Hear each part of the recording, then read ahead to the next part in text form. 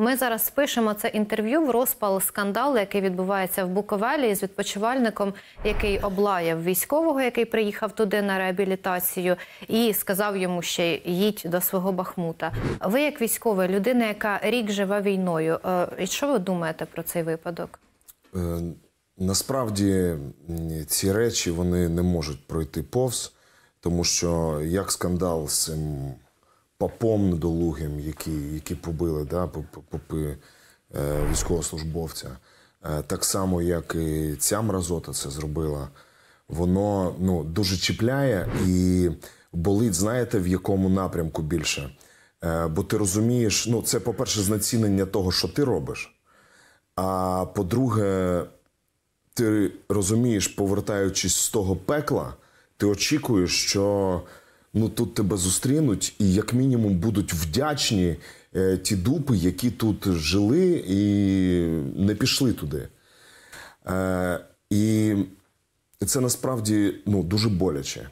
Бо знаєте, от в мене є двоюрідний брат, який не писав мені, він живе е, в Білорусі. От, і чогось раптом йому захотілося дізнатися, як в мене справи. Е, ну, для мене був шок, ну, бо я не знаю, як з цією людиною спілкуватися, бо ми ніколи не були близькими. І я кажу, ми далекі люди. А він каже, треба підтримувати родинні стосунки, все інше. Я кажу: ні, в тебе ти на одній стороні барикади, я по іншу, я захищаю Україну.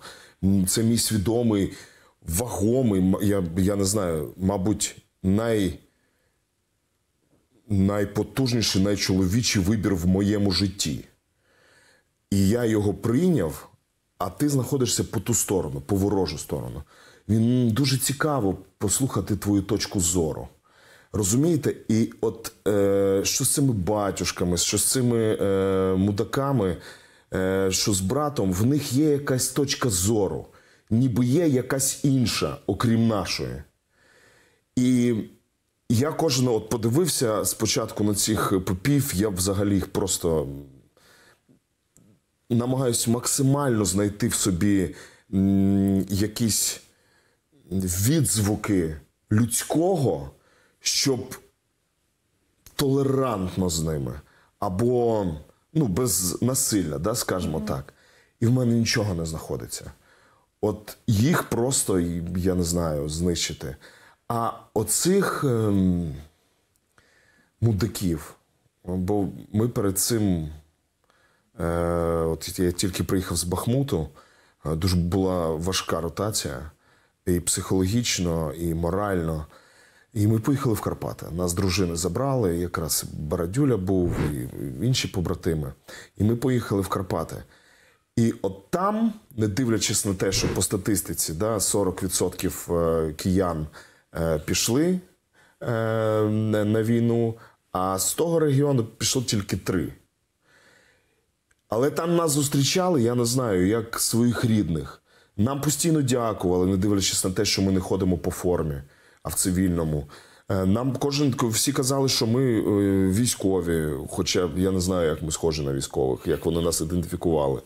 Нам давали знижки. Е, Ну тобто, нас Ви відчули так подяку. Так, ми відчули, що ніби ми робимо щось важливе.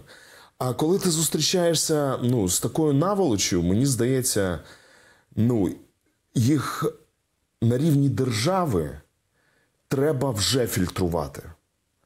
Ну, тобто, їх треба вже е, під високий контроль СБУ, е, під високий контроль поліції, щоб, не дай Боже, воно не відмазалося. Щоб, не дай Боже, воно за, я не знаю, може ввести якусь е, статтю чи закон е, про те, що ображати ображання військовослужбовця це якась стаття буде.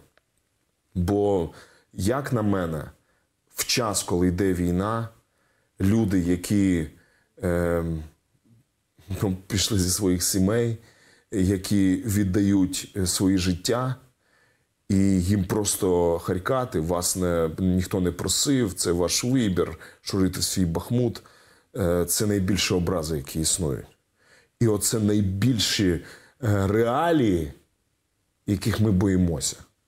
І що з цим зараз ніхто нічого не робить.